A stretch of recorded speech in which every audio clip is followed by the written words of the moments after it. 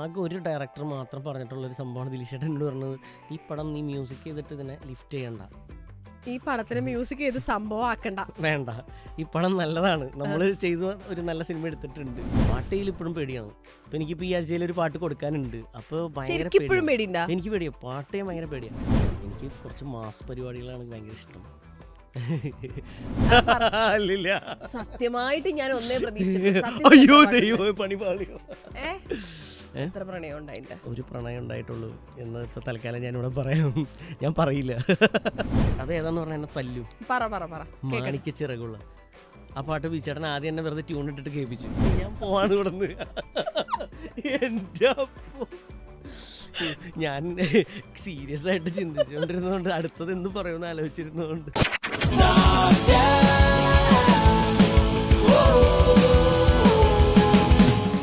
നമ്മളെല്ലാവരും ഒരുമിച്ച് പാടി നടന്ന ഒരു വൈറൽ പാട്ട്. നമ്മളെല്ലാവരും ഒരുമിച്ച് ഡാൻസ് ചെയ്ത് തകർത്താടിയ വേറൊരു പാട്ട്. ഈ രണ്ട് പാട്ടിന്റെയും ക്രിയേറ്റർ ആണ് ഇന്ന് എന്റെ കൂടെ star ജാമിൽ just in star jam with me Justin Varghese എന്താണിത്? What is the secret of your success mister music director അറിഞ്ഞൂടാ. അങ്ങനെ പറയല്ലേ? എന്ത് കഥ ഇപ്പൊ പറയും? അറിയില്ല. ഇങ്ങനെ നമ്മളിങ്ങനെ ചെയ്യും. എന്തെങ്കിലുമൊക്കെ ഡയറക്ടറൊക്കെ പറഞ്ഞതിനനുസരിച്ച് എന്തെങ്കിലുമൊക്കെ ചെയ്യും. അപ്പം എന്തെങ്കിലുമൊക്കെ ഡിഫറെന്റ് ആയിട്ടൊക്കെ ചെയ്യണം. ജാതിക്കത്തോട്ട് ഇറങ്ങിയപ്പോൾ. ഏറ്റവും ആദ്യം കിട്ടിയ മനസ്സിനെ ഭയങ്കരമായിട്ട് സന്തോഷിപ്പിച്ച ഒരു കമന്റ് എന്താ ഒന്ന് ബിജി ചേട്ടന്റെ എന്റെ ബോസിന്റെ കമന്റ് ഗുരുവിന്റെ ആ ഗുരുവിന്റെ അടുത്ത് നിന്ന് കിട്ടിയത്. അപ്പം പിന്നെ ബിജി ചേട്ടന്റെ മോനും പാടിയിട്ടുണ്ടായിരുന്നു. അപ്പോൾ അത് അവനെ കൊണ്ട് പാടിച്ചത് എനിക്ക് ഭയങ്കര സന്തോഷമായിരുന്നു. ദയക്കുട്ടി ബിജേന്റെ മോളും പാടിയിട്ടുണ്ടായിരുന്നു. അപ്പോൾ പിന്നെ അതുപോലെ സൗമ്യ ആണ് ജാതിക്കത്തോട്ടം ഫീമെയിൽ ലീഡ് പാടിയത്. അപ്പോൾ സൗമ്യയും ഒക്കെ സൗമ്യയാണ് എപ്പോഴും ബിജേന്റെ പാട്ടുകൾ ട്രാക്ക് പാടാറുണ്ട്. അപ്പോൾ ഞാൻ പ്രോഗ്രാമിംഗ് ചെയ്യുമ്പോൾ എല്ലാ പാട്ടുകളും വേറെ സിംഗർ പാടുന്നതിന് മുമ്പ് ഈ ട്രാക്ക് പാടിയത് എപ്പോഴും സൗമ്യ പാടിയത് കേൾക്കുന്നുണ്ട്. ഞാൻ ചെയ്യാറുണ്ട്. അപ്പോൾ സൗമ്യ എല്ലാത്തരം പാട്ടുകൾ ഇപ്പോൾ ചിലപ്പോൾ ചില പാട്ട് ഫോക്ക് സോങ് ഒക്കെ പുഷ്പതി ചേച്ചി ആയിരിക്കും പിന്നീട് പാടിയിട്ടുണ്ടാവുക. പക്ഷേ ആ സോങ് സൗമ്യ പാടി ഞാൻ കേട്ടിട്ടുണ്ട്. അപ്പോൾ സൗമ്യ ഫോക്ക് പാടുന്നതൊക്കെ കേൾക്കാൻ നല്ല രസമുണ്ട്. അപ്പോൾ ഞാൻ ജാതിക്കത്തോട്ടം ചെയ്തപ്പോൾ ആദ്യം സൗമ്യനെ വെച്ച് അങ്ങനെ പാടിക്കാനുള്ള പ്ലാനൊന്നും ഇല്ലായിരുന്നു. ഏതെങ്കിലും ഒരു പ്ലസ് ടു കുട്ടികളെ കൊണ്ട് പാടിക്കാനായിരുന്നു. പക്ഷേ സൗമ്യ ഞാൻ വെറുതെ ട്രാക്ക് പാടാൻ വേണ്ടിയിട്ടാണ് സൗമ്യനെ വിളിച്ചത്. പക്ഷേ സൗമ്യ അങ്ങനെ നല്ല പാട്ട് നല്ല ആറ്റിറ്റ്യൂഡിൽ പാടുമെന്ന് എനിക്കറിയായിരുന്നു. അപ്പോൾ സൗമ്യ പാടിയപ്പോൾ അടിപൊളി. അപ്പോൾ എല്ലാവർക്കും ഇഷ്ടപ്പെട്ടു. അപ്പോൾ പിന്നെ അതാക്കി. ഉള്ളേര് ഇറങ്ങിയപ്പോഴോ? കുറേ പേര് മെസ്സേജ് ഒക്കെ ചെയ്തായിരുന്നു. എന്നാലും എനിക്ക് ഈ അടുത്ത് ഷാൻ റഹ്മാൻ ഷാനൊക്കെ ഈ ഞാൻ മ്യാവൂലൊരു പാട്ട് ചെയ്തിട്ടുണ്ട് ഹിജാബി എന്ന് പറഞ്ഞിട്ട്. അപ്പോൾ ആ. പാട്ടിന് ഭയങ്കര ഇഷ്ടമായി എന്നൊക്കെ പറഞ്ഞിട്ട് എനിക്കൊരു നീട്ടിയൊരു വോയിസ് മെസ്സേജ് ഒക്കെ അയച്ചിട്ടുണ്ട് അത് കേട്ടപ്പോൾ ഭയങ്കര സന്തോഷമായിരുന്നു. Justin Varghese as a music director happy ആക്കുന്ന കാര്യങ്ങൾ എന്തൊക്കെയാ? ഹാപ്പി ആക്കുന്ന കാര്യങ്ങൾ നല്ല ഫുഡ്. അതല്ലല്ലോ ഉദ്ദേശിച്ചത്. സോറി സമാധാനമായിട്ട് വർക്ക് ചെയ്യാൻ പറ്റുന്ന ഒരു അവസ്ഥ. കൂളായിട്ടിരുന്നിട്ട് ഭയങ്കര പ്രഷർ വരുമ്പോൾ എനിക്ക് ഭയങ്കരമായിട്ട് ഇങ്ങനെ ഒന്നും ചെയ്യാൻ പറ്റാത്ത പോലെ തോന്നാറുണ്ട്. പെട്ടെന്ന് പെട്ടെന്ന് ഒരു പാട്ട് കൊടുക്കണം എന്നൊക്കെ പറയുമ്പോൾ പെട്ടെന്ന് എന്താ ചെയ്യുക ചിലപ്പോൾ അങ്ങനെയൊക്കെ ചെയ്ത് പോകാറുണ്ട് പക്ഷേ അതിപ്പോഴൊരു ഒരു ടെൻഷനാണ്. പിടിപ്പിക്കണൊക്കെ ഭയങ്കര പേടിയാണ്. ആ പേടിയാണ്. ഫെബ്രുവരി മാസമാണ്. പ്രണയത്തിന്റെ മാസമാണ്. വാലന്റൈൻ മന്ത് ആണ് പ്രണയിച്ചിട്ടുണ്ടോ? പിന്നെ തീർച്ചയായിട്ടും. എത്ര പ്രണയങ്ങൾ ഉണ്ടായിട്ടുണ്ട്? അതൊന്നും പറയില്ല. സത്യമായിട്ട് ഞാൻ ഒന്നേ പ്രതീക്ഷിച്ചു അയ്യോ ദൈവമേ പണിപാളിയോ? എത്ര പ്രണയം ഉണ്ടായിട്ടുണ്ട്? ഒരു പ്രണയം ഉണ്ടായിട്ടുള്ളൂ എന്ന് ഇപ്പൊ തൽക്കാലം ഞാൻ ഇവിടെ പറയാം. ഞാൻ പറയില്ല. അച്ഛനും ആവാൻ സെമിനാരി പോയിട്ടുണ്ട് എന്നൊക്കെ ഞാൻ കേട്ടിട്ടുണ്ട്. അതിൽ നിന്ന് പ്രണയം പ്രണയത്തിൽ നിന്ന് കല്യാണം വേഗം വളരെ ഷോർട്ടാക്കി പറയൂ. അതിൽ നിന്ന് കല്യാണമായിട്ട് ബന്ധമൊന്നുമില്ല. അല്ല അത് കഴിഞ്ഞ് പിന്നെ തിരിച്ചൊക്കെ എത്തി. പിന്നെ ഞാൻ അല്ല ശരിക്കും ഈ അച്ഛനാവാൻ കാരണം എന്താ? സ്വന്തം ഇഷ്ടത്തിന് പോയതാണോ? അത് സാധാരണ യൂഷ്വലി സംഭവിക്കുന്ന യൂഷ്വലി സംഭവിക്കുന്ന വീട്ടുകാർ വഴിപാട്? കഴിച്ചില്ല. വീട്ടുകാർക്ക് താല്പര്യം ഉണ്ടായിരുന്നില്ല ഇവിടെ. ഞാനിങ്ങനെ എല്ലാവരുടെ അടുത്തും എപ്പോഴും പറയും ഞാൻ എനിക്ക് കല്യാണം കഴിക്കുന്നൊക്കെ പറയാൻ നാളായിരുന്നു ആ സമയത്ത്. അപ്പം ഞാൻ പറയും ഞാൻ കല്യാണം ഒന്നും കഴിക്കില്ല അച്ഛനാവാൻ പോകണമെന്നൊക്കെ പറയും. പിന്നെ എല്ലാവരും സീരിയസ് ആയിട്ട് എടുത്തു. അവസാനം ഞാൻ സീരിയസ് ആക്കി പോയി. അവിടെ ചെന്നപ്പോൾ അത്ര സീരിയസ് അല്ലെന്ന് എനിക്ക് മനസ്സിലായി. ഏതൊക്കെ എനിക്ക്. തോന്നിയതാണ്? അതെ അതെ. അവസാനം തെറ്റ് ചെയ്യാത്തവരെ ആരുണ്ട് ഗോപു? എന്ന് അതെ. പറഞ്ഞ് ഇറങ്ങി ഇങ്ങോട്ട് അതെ തീർച്ചയായിട്ടും. ഓക്കെ എന്നിട്ട് പ്രണയം? പ്രണയം പിന്നെ ഞങ്ങൾ ഒരു അതുവരെ പ്രണയമൊന്നും ഇല്ലായിരുന്നു തോന്നുന്നല്ലേ? പ്രണയം അച്ഛനാവാൻ പോകുന്നു എന്തായാലും ഞാൻ അച്ഛനാവാൻ പോവാണല്ലോ എന്നുള്ളൊരു ലൈൻ ആയിരുന്നില്ലേ? അതൊക്കെ ശരിയാണ്.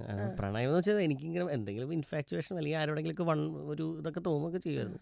ഈ വിനീത് ശ്രീനിവാസനും ധ്യാൻ ശ്രീനിവാസനും ഒക്കെ പണ്ടത്തെ ക്രഷിനെ കുറിച്ച് പറഞ്ഞിട്ട് അങ്ങനെ യു ഹാഡ് എ ക്രഷ് ഒരു ആക്ട്രസ് ക്രഷ് അങ്ങനെ ആക്ട്രസ് ക്രഷ് എന്ന് പറഞ്ഞാൽ മീര ജാസ്മിനെ ഭയങ്കര ഇഷ്ടമായിരുന്നു വിനീത് ശ്രീനിവാസന്റെ ലൈൻ അതെ ഞാൻ മറ്റേ പ്ലസ് ടു ബുക്കൊക്കെ മറ്റേ നമ്മൾ പേപ്പറൊക്കെ ഇട്ട് ഇങ്ങനെ കവർ ചെയ്യാണ്ട് മറ്റേ പ്ലെയിൻ ആയിട്ട് ഇങ്ങനെ കൊണ്ടെടുക്കാറ് മറ്റേ പുള്ളിക്കാരത്തിയുടെ ഫോട്ടോ വെച്ചിട്ട്. അറിയാ. ഞണ്ടുകളുടെ നാട്ടിലെ പാട്ടുകൾ ചെയ്ത് അതാ ഭയങ്കര ഹിറ്റായ പാട്ടുകളാണ്. അങ്ങനെ ഹിറ്റായ ഒരു മ്യൂസിക് ഡയറക്ടർ പിന്നെ ഒരു രണ്ട് വർഷത്തേക്ക് വേറെ സിനിമയൊന്നും ചെയ്തില്ല. ബട്ട് വൈ ഒന്ന് രണ്ട് പ്രോജക്ട്സ് വന്നു. അപ്പോൾ അത് ഇങ്ങനെ എനിക്ക് അത്ര സെറ്റാവില്ല എന്ന് തോന്നിയതും പിന്നെ ബഡ്ജറ്റ് കൊണ്ട് സെറ്റാവില്ലെന്ന് തോന്നിയതൊക്കെ വെച്ചിട്ട് ഞാൻ അങ്ങനെ ചെയ്തില്ല. പിന്നെ അങ്ങനെ വെയിറ്റ് ചെയ്തിരുന്നപ്പോഴാണ് ആദ്യം വേറെ ഒന്ന് രണ്ട് പ്രോജക്ട്സ് ആയിരുന്നു ആദ്യം നടക്കുമെന്ന് വിചാരിച്ച് ഞണ്ടിന് മുമ്പ്. അല്ല ഞണ്ടിന് മുമ്പല്ല ഞണ്ട് കഴിഞ്ഞു കഴിഞ്ഞിട്ട്. ഞണ്ട് കഴിഞ്ഞിട്ട്. അത് കഴിഞ്ഞിട്ട് പിന്നെ അതിന്റെ അതിന്റെ ഇടയിലാണ് ഇങ്ങനെ തണ്ണീർമത്തൻ ദിനങ്ങളൊക്കെ വന്നതും.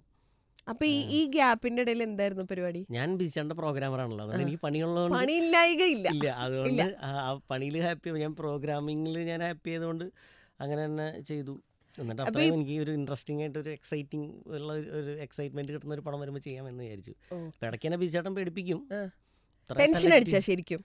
ഇല്ല എനിക്ക് ടെൻഷനൊന്നും ഉണ്ടായിരുന്നില്ല. ഞാൻ ബിജേട്ടന്റെ അടുത്ത് ഹാപ്പി ആയിട്ട് ഇങ്ങനെ പോയിക്കൊണ്ടിരിക്കുകയായിരുന്നു. അതുകൊണ്ട് എനിക്ക് അങ്ങനെ വലിയ ടെൻഷനൊന്നും ഉണ്ടായിരുന്നില്ല. പിന്നെ ബിജേട്ടന്റെ അടുത്ത് പറയും ഇങ്ങനെ സെലക്റ്റീവായി സെലക്റ്റീവായിട്ട് അവസാനം ഒന്നും അങ്ങനെ അപ്പോൾ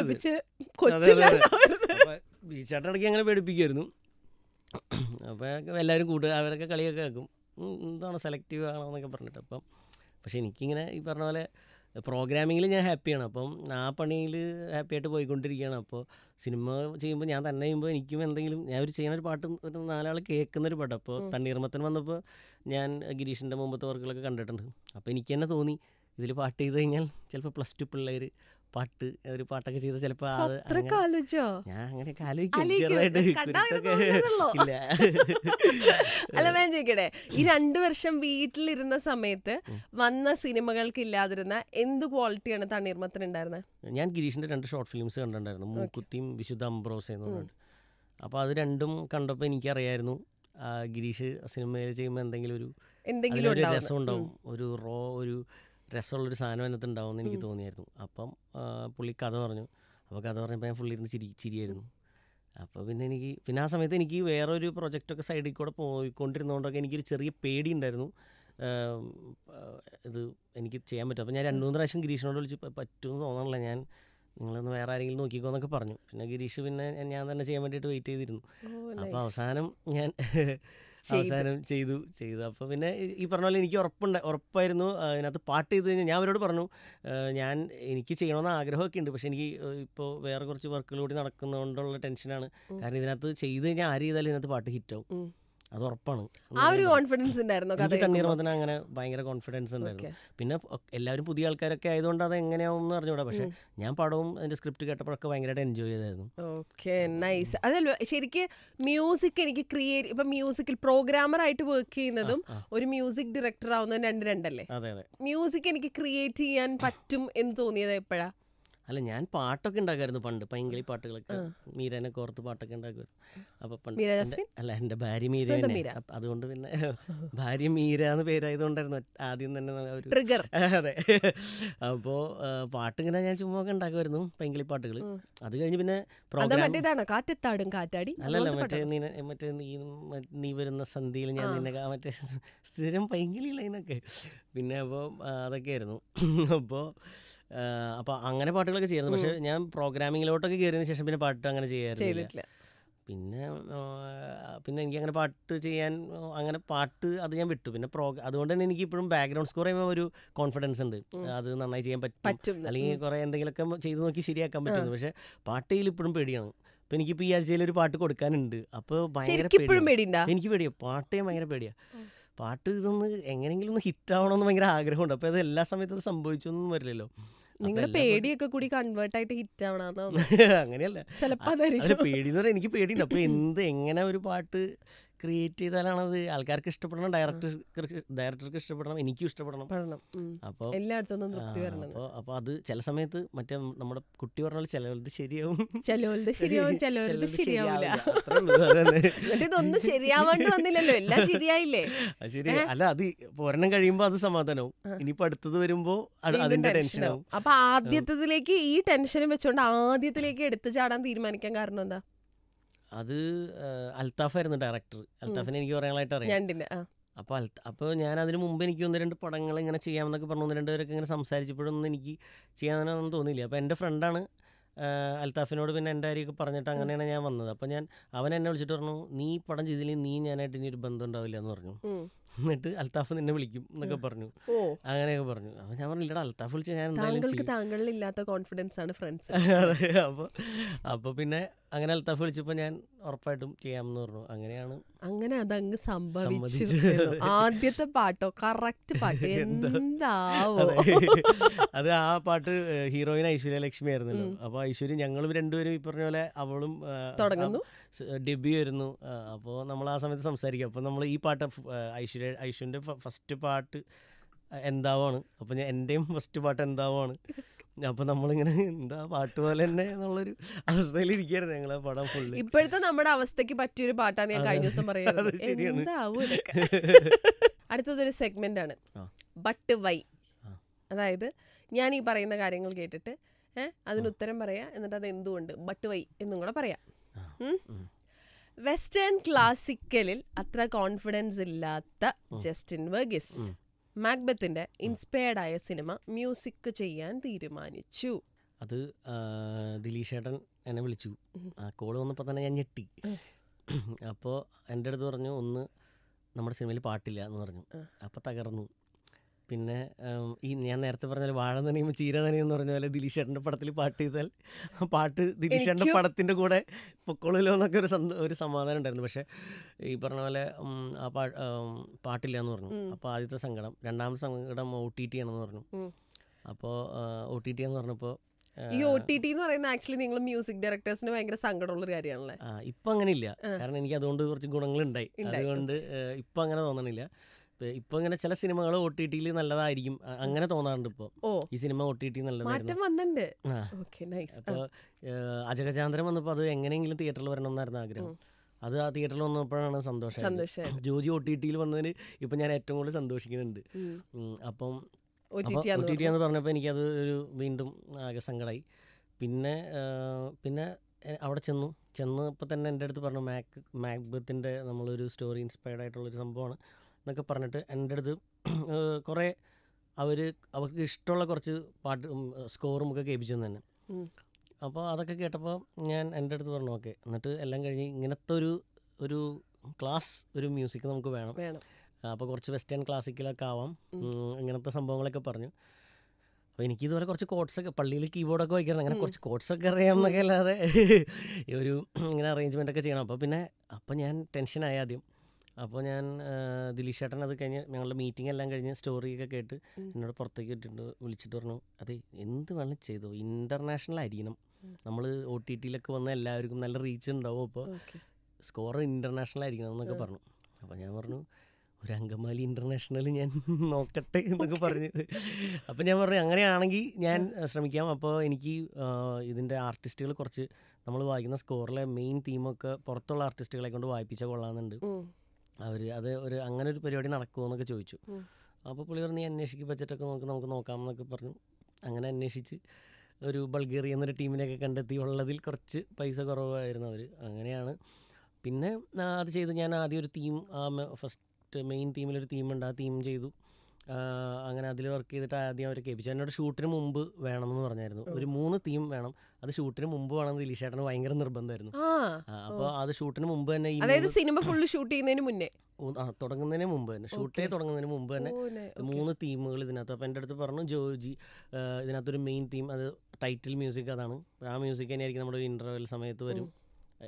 സിനിമ അവസാനിക്കുമ്പോഴും ആ മ്യൂസിക് വരും. അതോ അതിന്റെ ചേഞ്ച് ഓവർ മീൻസ് അതിന്റെ വേരിയേഷൻസ് ഒക്കെ നിനക്ക് ഉണ്ടാകാം അതായിരിക്കും. പിന്നെ ഇതിനകത്തൊരു പ്ലാനിങ് ഒരു മൊണ്ടാഷ് ഉണ്ട്. അപ്പോൾ അങ്ങനെ ഒരു ആ പ്ലാനിങ്ങിന് ഒരു തീം വേണം. പിന്നെ അതിന്റെ അത് അങ്ങനെ ഒരു മൂന്ന് തീമുകൾ എന്നോട് പറഞ്ഞു.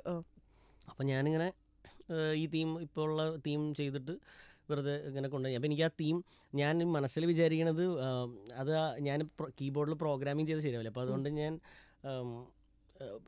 നേരെ ലൈവ് തന്നെ നമ്മൾ എനിക്കറിയാവുന്ന കരോൾ എന്ന് പറഞ്ഞ ചേട്ടനെ വിളിച്ചിട്ട് അതിനകത്ത് ഒരു വയലിൻ ആ. ലീഡ് വയലിനിൽ ഇവിടെ നിന്ന് തന്നെ വായിപ്പിച്ച് ബാക്കി പിയാനൊക്കെ ഞാൻ. വായിച്ചു അങ്ങനെ അതൊന്ന് അറേഞ്ച് ഒക്കെ ചെയ്തിട്ട് കേൾപ്പിച്ചു. അപ്പോൾ അപ്പോൾ ദിലീഷേട്ടന് ഓക്കെ എന്നാലും ഓക്കെ ആണ് കുഴപ്പമില്ല എന്നൊക്കെ പറയുന്നുണ്ട്. എന്നാലും ഓക്കെ ആയോ എന്ന് ഒരു പൂർണമായിട്ട് മനസ്സിലാവാത്ത മനസ്സിലാവില്ല. ആയിരുന്നു. പക്ഷെ അത് വെച്ചിട്ട് അത് മതി എന്ന് പറഞ്ഞു ഷൂട്ടിന് പിന്നെ ഷൂട്ട് കഴിഞ്ഞിട്ട് പിന്നെ കട്ട് ചെയ്യാൻ വന്നപ്പോൾ എഡിറ്റ് ചെയ്തപ്പോൾ കുറച്ച് സീനുകളൊക്കെ ഈ സീനിൽ ഈ മ്യൂസിക് കൊണ്ടുവന്നാൽ അവർ തന്നെ ഈ മ്യൂസിക് പ്ലേസ് ചെയ്ത് തന്നു അപ്പോൾ എനിക്ക് റെഫറൻസ് മ്യൂസിക് ഒന്നും അങ്ങനെ ഉണ്ടായില്ല. ഞാൻ ഈ കൊടുത്ത മ്യൂസിക് തന്നെ ഒക്കെ പ്ലേസ് ചെയ്ത് തന്നു. പിന്നെ ആകെ ഒന്ന് ഒന്ന് രണ്ട് സ്ഥലത്തൊക്കെ അങ്ങനെ ഉണ്ടായിരുന്നുള്ളൂ. അപ്പോൾ അപ്പോൾ അങ്ങനെ അത് ചെയ്തു വന്നപ്പോൾ ഈ പറഞ്ഞ പോലെ അത് ചെയ്ത് ചെയ്ത് എനിക്കും ഞാനും പിന്നെ കുറച്ച് വന്ന്. അപ്പം ഞാനൊന്ന് വയലിനിസ്റ്റ് കരോളേട്ടൻ വന്ന കഴിഞ്ഞ സമയത്തും പുള്ളിക്കാരനും എന്നെ അങ്ങനെ കുറേ അങ്ങനത്തെ കുറേ ക്ലാസിക്കൽ മ്യൂസിക് അങ്ങനെ കേൾപ്പിച്ചു തന്നിരുന്നു. അപ്പോൾ ഞാനും പിന്നെ അങ്ങനെ കുറേ സാധനങ്ങളൊക്കെ കേട്ടു. പിന്നെ അങ്ങനെ തന്നെ അതിനകത്തോട്ടേക്ക് എത്തി. സംഭവിച്ചതാണത്. പക്ഷേ ദാറ്റ് വാസ് നൈസ് നമ്മൾ ജോജി കാണുമ്പോൾ ജോജിയിൽ ബാക്ക്ഗ്രൗണ്ട് മ്യൂസിക് ഇല്ലാത്ത കുറെ സ്ഥലങ്ങളുണ്ട്. സൈലൻസ് ഉണ്ട്. അടുത്തത് power of music versus power of silence ഇതിൽ ഏത് സെലക്ട് ചെയ്യും? അത് സൈലൻസ് ഭയങ്കര ഇമ്പോർട്ടന്റ് ആണ്. അതുകൊണ്ടാണ് ആ മ്യൂസിക് അത്രയും രസമായിട്ട് വരുന്നത് ഒരു സ്ഥലത്ത്. അപ്പോൾ എനിക്കും അങ്ങനെ ഉണ്ടായിരുന്നു. ദിലീഷ് ചേട്ടൻ എന്നോട് ഉണ്ടായിരുന്നു. എന്റെ അടുത്ത് ആരും ആകെ ഒരു ഡയറക്ടർ മാത്രം പറഞ്ഞിട്ടുള്ള ഒരു സംഭവമാണ് ദിലീഷ് ചേട്ടൻ എന്നോട് പറഞ്ഞത്. ഈ പടം നീ മ്യൂസിക് ചെയ്തിട്ട് ഇതിനെ ലിഫ്റ്റ് ചെയ്യണ്ട. ഈ പടത്തിന് മ്യൂസിക് ചെയ്ത് സംഭവം ആക്കണ്ട. വേണ്ട. ഈ പടം നല്ലതാണ്. നമ്മൾ ചെയ്ത ഒരു നല്ല സിനിമ എടുത്തിട്ടുണ്ട്. നീ അതിനെ ഫോളോ ചെയ്താൽ മതി. ആ. ഇമോഷനെ ഫോളോ ചെയ്താൽ മതി. ആ. ഇമോഷനെ ഒന്ന് പ്രസന്റ് ചെയ്യണം. അത്രയും അതിന്റെ സപ്പോർട്ട് അത്രയും മതി എന്നാണ് എന്നോട് പറഞ്ഞത്. അപ്പോൾ അപ്പോൾ തന്നെ എനിക്ക് പകുതി സമാധാനമായി എന്നാൽ ഈ സപ്പോർട്ട് ശരിയാവണ്ടോ എന്നുള്ള പേടിയുണ്ടായിരുന്നു. ദിലീഷ് നമ്മൾ ചേട്ടൻ ആദ്യം ഒന്നും പറയണ്ടായിരുന്നു. അത്രയും കോൺഫിഡൻസ് ഉള്ള ഒരു ക്രിയേഷൻ അല്ലേ. പുള്ളിക്ക് അത് ഹിറ്റ് ആവും. നല്ല സാധനമാണ്. നല്ല ഉറപ്പുള്ള ഒരു സാധനം. ദിലീഷേട്ടൻ അങ്ങനെ ഭയങ്കരമായിട്ട് ആടാ പൊളിച്ചു അങ്ങനെയൊന്നും പറഞ്ഞിട്ടുണ്ടായിരുന്നില്ല. അപ്പം ഞാൻ വിചാരിച്ചു ഇനി ഇഷ്ടപ്പെടണില്ല. എന്റെ അടുത്ത് ആ ഓക്കെ ഓക്കെ.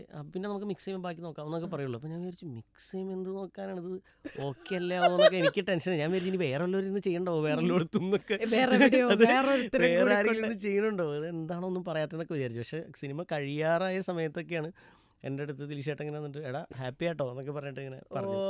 ഹാപ്പി ആട്ടോ എന്നാണ്. അപ്പോൾ അപ്പോഴാണ് എനിക്ക് മനസ്സിലായത് അപ്പോൾ ഇഷ്ടപ്പെടാനുണ്ട് മ്യൂസിക് ഫോർ ഒരു പക്ക റിയലിസ്റ്റിക് പടം വേഴ്സസ് മ്യൂസിക് ഫോർ പക്ക കമേഴ്ഷ്യൽ പടം രണ്ടും ഇഷ്ടമാണ് എനിക്ക് കുറച്ച് മാസ് പരിപാടികളാണ് ഭയങ്കര ഇഷ്ടം. അങ്ങനെ എന്തെങ്കിലുമൊക്കെ വരാൻ വേണ്ടി. ഇപ്പോൾ അജകചാന്ദ്രത്തിലുണ്ടായിരുന്നു. എന്നാൽ അജകചാന്ദ്രം എന്നോട് പറയും എടാ നമ്മുടെ ഒരു റോ പടമാണ്. എന്നൊരു മാസ് പടമാണ്. അപ്പോൾ. ടീനും അങ്ങനെ പറയുമായിരുന്നു. അപ്പോൾ ഇത് രണ്ടും വെച്ചിട്ട് അപ്പോൾ നമ്മൾ ഓക്കെ ഒരു റോ മാസ് എന്നൊക്കെ പറഞ്ഞ് നമ്മളിങ്ങനെ തമാശക്കൊക്കെ പറയായിരുന്നു. അപ്പോൾ അതുപോലെ അപ്പോൾ അതിനകത്ത് ഈ പറഞ്ഞ പോലെ ഫുള്ളി ഭയങ്കര കൊമേഴ്സ്യൽ സാധനം പറ്റൂല. വേറെ എന്തെങ്കിലും കുറച്ച് സൗണ്ട് ഡിസൈൻഡ് സൗണ്ടുകളും ഒക്കെ ആയിട്ട് അങ്ങനെയായിരുന്നു എന്റെ വർക്ക്. അപ്പോൾ അപ്പോൾ അതുകൊണ്ട് എനിക്ക് അതല്ലാണ്ട് ഭയങ്കര മാസ് ഇപ്പോൾ എന്താ പറയുക ഇപ്പോൾ നമ്മളിപ്പോൾ പുഷ്പയൊക്കെ കാണില്ല എന്ന് പറഞ്ഞാൽ അങ്ങനത്തെ മാസ് പടങ്ങളൊക്കെ അത് ഇഷ്ടമാണ്. ചെയ്യാൻ ഇഷ്ടമാണ് കാണാനും ഇഷ്ടമാണ് ചെയ്യാനും ഇഷ്ടമാണ് അപ്പോൾ തെലുങ്കിലേക്കൊക്കെ വിളിച്ചാൽ താങ്കൾ ഓടും. വിളിച്ചാൽ ഓടും. ഉറപ്പായിട്ടും വിളിക്കും. ഏതാണ് ആക്ച്വലി ഈസി? കൊമേഴ്ഷ്യൽ പടങ്ങൾക്ക് ചെയ്യാനാണോ റിയലിസ്റ്റിക് പടങ്ങൾക്ക് ചെയ്യാനാണോ? കമേഴ്സ്യൽ പടങ്ങൾ ചെയ്യാനാണ് ഈസി. എനിക്കതായിരിക്കും ഈസി.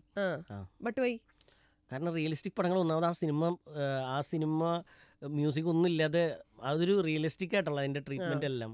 മറ്റേത് കുറച്ചും റിയലിസത്തിനെ എടുത്ത് കളയണ പോലത്തെ മ്യൂസിക് ഞാനിപ്പോ ചിലപ്പോൾ അതിനകത്തൊരു കോമഡി ഉണ്ടെങ്കിൽ ചില സമയത്ത് ഇപ്പൊ എല്ലാ സമയത്ത് എല്ലാ സിനിമയിലും ഡയറക്ടേഴ്സ് അങ്ങനെ ആവശ്യപ്പെടില്ല. ചില. ഡയറക്ടർമാർ ചിലപ്പോൾ പറയും അവിടെ കോമഡി വർക്ക് ആവണില്ല. കുറച്ച് കോമഡിക്ക് ഒരു സപ്പോർട്ട് കൊടുക്കണം. ഈ കോമഡിക്കൊക്കെ മ്യൂസിക് ഒക്കെ ചെയ്ത് അതിനകത്തുള്ള കോമഡി ഞാൻ മ്യൂസിക് ഇട്ട് നശിപ്പിക്കണ്ടോ എന്നൊക്കെ എനിക്ക് പേടിയും ഭയങ്കര കോൺഫിഡൻസ് ആണ് അല്ലേ? അവനവനെ പറ്റി ആ തീർച്ചയായിട്ടും. അല്ല നമ്മൾ പറഞ്ഞൊരു പടം നശിക്കാൻ പാടില്ലല്ലോ. അതുകൊണ്ട് അത് ആ പേടി എനിക്ക് എപ്പോഴും ഉണ്ട്. നല്ലതാണ്. ചിലപ്പോ ആ കോൺഫിഡൻസിൽ നിന്നായിരിക്കും പറയാൻ പറ്റില്ല ഈ പാട്ടുകളൊക്കെ വരുന്നത്. റൊമാന്റിക് പാട്ട് വേഴ്സസ് തട്ടുപൊളിപ്പൻ പാട്ട്. റൊമാന്റിക് പാട്ടാണ് കുറച്ച് കൂടുതൽ കോൺഫിഡൻസ് പക്ഷെ മറ്റേത് ഉണ്ടാക്കാൻ ഇഷ്ടമാണ്. ഇഷ്ടം എന്ന് വെച്ചാൽ ഇങ്ങനത്തെ ഈ പറഞ്ഞ പോലെ പാട്ടിന് ആൾക്കാർ തുള്ളുമ്പോൾ ഒരു രസം മൂടുണ്ട് അതുകൊണ്ട് അതും ഇഷ്ടമാണ്. എന്നാലും ഇത് എനിക്ക് കുറച്ചുകൂടി ഈസിയാ ഈസി ഈസി എന്നല്ല. എന്നാലും കുറച്ചും കൂടിയും ഒരു കോൺഫിഡൻസ് ഉണ്ട് എനിക്ക്. റൊമാൻസ് ആ. ചെയ്യാനായിട്ട്. ആ ആവുമല്ലോ ഞാൻ വിശ്വസിച്ചിട്ടില്ല കേട്ടോ. അടുത്തത്. വിദ്യാസാഗർ വേഴ്സസ് ബിജിപാൽ. അതെനിക്ക് അത് ഒരു ഉത്തരം പറയാൻ പറ്റാത്ത ഒരു ചോദ്യമാണ് ഇവിടെ കാരണം ഉത്തരം പറയാത്ത ചോദ്യം. ഇവിടെ ഞങ്ങൾക്ക് അങ്ങനെ ഇല്ല കാരണം എനിക്ക് വിദ്യ ഞാൻ ബീച്ചാന്റെ അടുത്തൊക്കെ വരുന്നതിന് മുമ്പ് ചെറുപ്പം തൊട്ട് ഒരു എപ്പോഴോ ഒമ്പതിൽ പത്തിലൊക്കെ തൊട്ടൊക്കെ അതിന് മുമ്പായിരിക്കും. വെണ്ണില ചന്ദനൊക്കെ ഇറങ്ങിയപ്പോൾ തൊട്ട് വിദ്യാസാഗറിനെ ഫോളോ ചെയ്യുന്നതാണ്. ഒരു വിദ്യാസാഗർ ഫാൻ ആണല്ലേ നിങ്ങൾ തീർച്ചയായിട്ടും ആണ്. അപ്പം അപ്പോൾ ഞാൻ എപ്പോഴും എനിക്ക് ഭയങ്കര ഇഷ്ടമാണ് പ്ലേലിസ്റ്റിൽ ഇങ്ങനെ ഇട്ട് ഉറങ്ങാൻ വെക്കാനും അല്ലെങ്കിൽ പ്രണയിക്കാൻ വെക്കാനും ഇങ്ങനെയൊക്കെയുള്ള എന്തിനും ഉപയോഗിക്കാൻ? പറ്റുന്ന പാട്ടുകളാണ്. പിന്നെ ബീച്ചേട്ടൻ എന്ന് പറഞ്ഞാൽ ഞാൻ ബീച്ചേട്ടന്റെ പാട്ടുകൾ ഇഷ്ടപ്പെട്ട് തുടങ്ങി കുറച്ച് കളയുമ്പോഴേക്കും ഞാൻ ബീച്ചേട്ടനോട് വർക്ക് ചെയ്യാൻ തുടങ്ങി. അപ്പോൾ പിന്നെ ബീച്ചേട്ടന്റെ പാട്ടുകളും വർക്കുകളും എന്നെ മീൻസ് എനിക്ക് ബീച്ചേട്ടനാണ് പറഞ്ഞു തരുന്നത്. ബീച്ചേട്ടന്റെ. പാട്ടുകൾ ഞാൻ പ്രോഗ്രാമിങ് ചെയ്ത് തുടങ്ങി. അപ്പോൾ അതെനിക്ക് വേറെ എക്സ്പീരിയൻസ് ആയിരുന്നു. ഞാൻ ബാക്ക്ഗ്രൗണ്ട് സ്കോർ ചെയ്യുമ്പോൾ ഇപ്പോൾ കോൺഫിഡന്റ് ആണെന്ന് പറയുന്നത് ബീച്ചേട്ടന്റെ കൂടെ വർക്ക് ചെയ്തിട്ടുള്ള എക്സ്പീരിയൻസ്.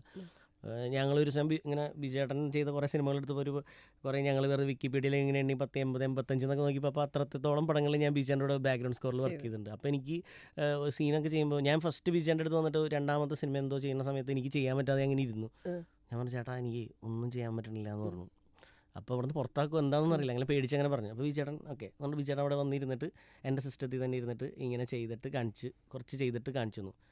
ഇതിനൊന്ന് ശരിയാക്കിയാൽ മതി എന്നൊക്കെ പറഞ്ഞിട്ട് പറഞ്ഞു തന്നു.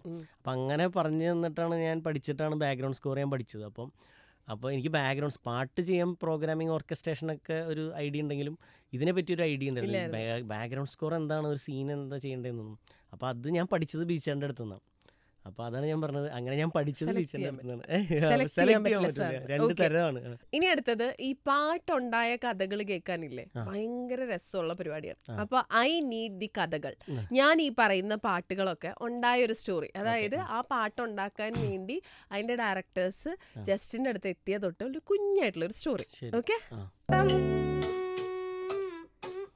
ഈ പാട്ടിന്റെ സ്റ്റോറി വലിയൊരു ഗ്യാപ്പിന് ശേഷം മുന്നിലേക്ക് വന്ന സിനിമ. ആണ്. ആ. അപ്പോൾ ഇതിൽ പാട്ട് ചെയ്യാം. അപ്പോൾ ഞാനിങ്ങനെ ആദ്യം എന്തൊക്കെയോ കുറച്ച് റൊമാന്റിക് സോങ്സ് ഒക്കെ ചെയ്ത് തുടങ്ങി. അതിനകത്ത് ഒരു പാട്ട് ചെയ്തപ്പോൾ എല്ലാം ഭാര്യനെ കേൾപ്പിച്ചു കൊടുക്കും ആദ്യം തന്നെ. അവളുടെ കുറേയൊക്കെ അവളുടെ ജഡ്ജ്മെന്റ് കറക്റ്റ് ആവാറുണ്ട്. അപ്പോൾ ഞാൻ അവളെ ഏതൊക്കെ പാട്ട് ആദ്യം ചെയ്തപ്പോൾ എന്നോട് പറഞ്ഞത് എന്തോ കൊയ്ത്ത് പാട്ട് പോലൊക്കെ തോന്നി എന്നൊക്കെ പറഞ്ഞു ലവ് സോങ് ഒക്കെ. അപ്പോൾ ഞാൻ പറഞ്ഞു അങ്ങനെ അത്രയും ഭയങ്കര ക്രിട്ടി ഭയങ്കര ക്രിട്ടി എന്താ പറയുക അങ്ങനെ ഒരു ക്രിട്ടിസൈസ് ചെയ്യുന്ന ഒരാളാണ്. ഭയങ്കര അങ്ങനത്തെ ക്രിട്ടിക്കൽ ഇവാലുവേഷനൊക്കെയാണ് അപ്പം ഞാൻ അപ്പം ഞാൻ അങ്ങനെ മാറ്റി മാറ്റി ചെയ്ത് ഒരു പാട്ട് ചെയ്ത് കഴിഞ്ഞ് ഞാനതിങ്ങനെ വെറുതെ അയച്ചു കൊടുത്തു. അപ്പം ഇങ്ങനെ കുറേ കിസ്മൈലിയൊക്കെ കുറേ വന്നു. സൂപ്പർ എന്നൊക്കെ പറഞ്ഞിട്ട്. അപ്പോൾ അപ്പോൾ ഞാൻ ആ പാട്ട് ഫിക്സ് ചെയ്തിരുന്ന സമയത്ത് എനിക്ക് ഞാൻ അപ്പോൾ ഈ പാട്ടിൽ ഒരു ജാതികത്തോട്ടമൊക്കെ ഈ സിനിമയിലുണ്ട്. ഞാൻ സുഹൈലിനോട് അപ്പോൾ ഇതിനു മുമ്പ് ഞാൻ വേറൊരു പാ പടം സൈഡിൽ കൂടെ തുടങ്ങിയായിരുന്നു. അപ്പോൾ അതിൽ ഞാനൊരു പാട്ട് വെറുതെ ഞാൻ തന്നെ എഴുതി തുടങ്ങിയായിരുന്നു. അപ്പോൾ അതിൽ ഇങ്ങനെ ഒരു ഫ്രൂട്ട് അങ്ങനെ ഇതുമായിട്ട് ഇതുപോലെ ബന്ധപ്പെട്ട ഒരു വാക്കൊക്കെ ഉണ്ട് അപ്പോൾ ഞാൻ പോലെ. വേറൊരു സംഭവം ഉണ്ട് അപ്പോൾ ഞാൻ സുഹൈലിന്റെ അടുത്ത് സംസാരിച്ചപ്പോൾ ഞാൻ പറഞ്ഞു ഇങ്ങനെ സുഹൈൽ എന്ത് വേണമെങ്കിലും വല്ല ജാതിക്ക പോലത്തെ പെണ്ണേന്നോ? എന്തെങ്കിലും ജാതിക്കാന്നൊക്കെ വെച്ചിട്ടോ. അങ്ങനെയൊക്കെ എന്ത് വേണമെങ്കിലും ചിന്തിച്ചു സുഹൈൽ അങ്ങനെ ഒന്നും ഒരു ലിമിറ്റഡ് ആവണ്ട ഒന്നിലും ലോക്കായിട്ടിരിക്കണ്ട അങ്ങനെ എന്ത് വേണമെങ്കിലും ചിന്തിച്ചോ എന്ന് പറഞ്ഞു. അപ്പോൾ സുഹൈൽ ഇങ്ങനെ ജാതിക്ക തോട്ടം ജാതി നോട്ടം എന്നൊക്കെ പറഞ്ഞിട്ട് സുഹൈൽ തന്നെ ഒരു ഈ ജാതിക്ക തോട്ടം എന്നൊക്കെ പറഞ്ഞ സുഹൈൽ തന്നെ പാടും. പാടി എനിക്ക് അയച്ചു തന്നു. അപ്പം ഞാൻ പെട്ടെന്ന് സംഭവം വെറൈറ്റിയാണ് പക്ഷേ എനിക്കൊരു പേടി. പിന്നെ ഈ ട്യൂൺ ഇപ്പോൾ നല്ലതാണ്. അവൻ പാടിയ ട്യൂൺ തന്നെ നല്ലതാണ്. ഇനിയിപ്പോൾ ഞാനിപ്പോൾ എന്ത് ട്യൂൺ ഇടും എന്നൊക്കെ ആലോചിച്ചിട്ട് മാറ്റി വെച്ചു.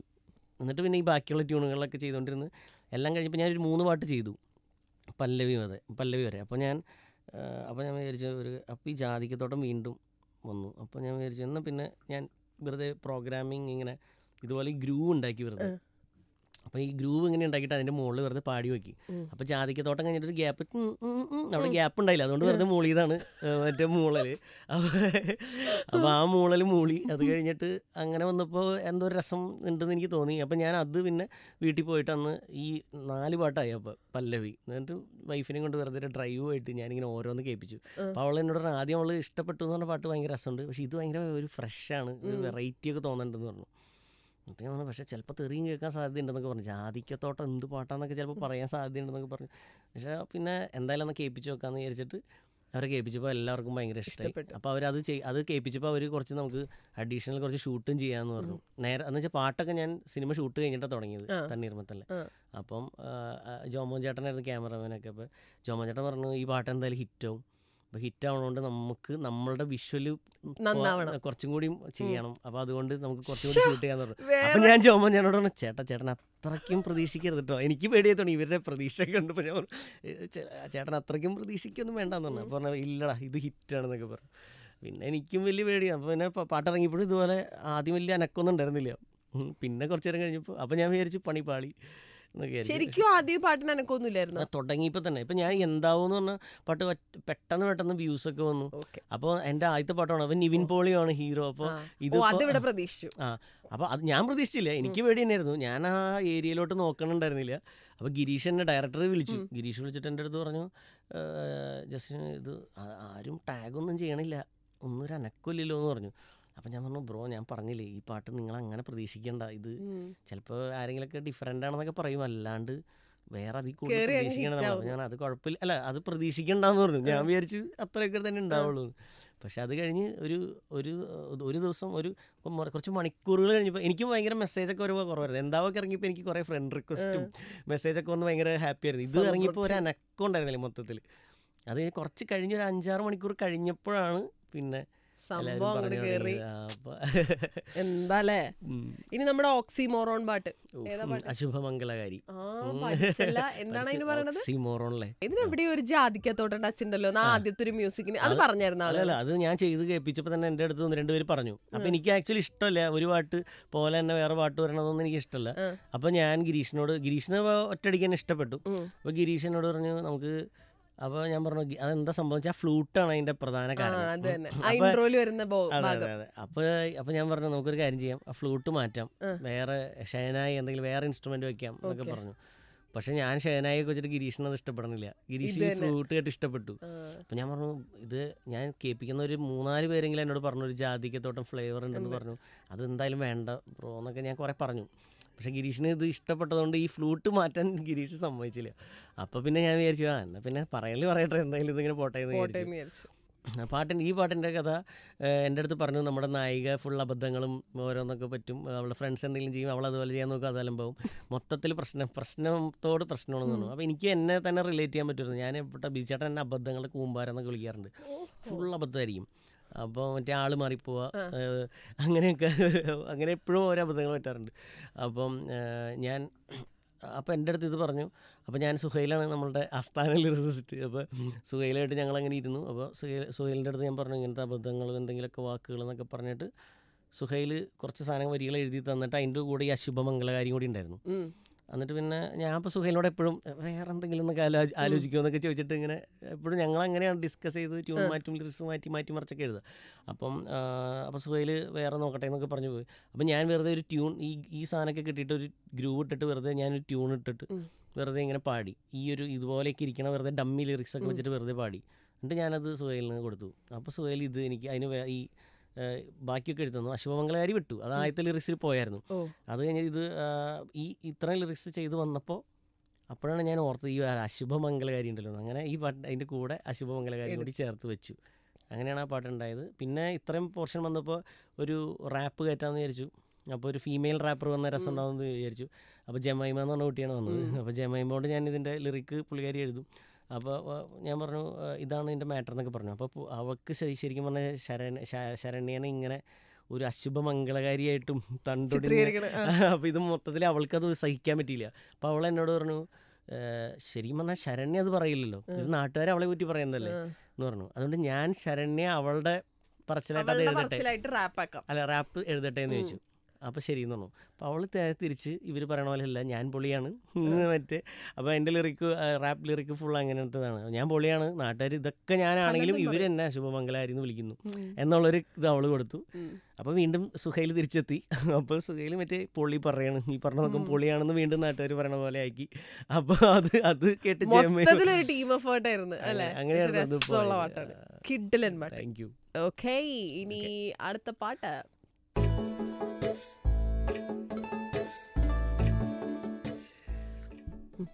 പോന്നട്ടെ പോന്നോട്ടെ. ഓക്കെ. ഈ പാട്ട് ചെയ്യുന്ന സമയത്ത് അൽത്താഫിനോട് പറഞ്ഞു നമുക്കൊരു ചെറിയൊരു ഇതിവിടെ പാട്ടുണ്ടല്ലായിരുന്നു സിനിമയിൽ ചെറിയൊരു മൊണ്ടാഷ് സീൻ ബാക്ക്ഗ്രൗണ്ട് സ്കോറായിട്ട് പോകാനാണ് ആദ്യം തീരുമാനിച്ചത്. പിന്നെ പറഞ്ഞു പാട്ട് വേണം.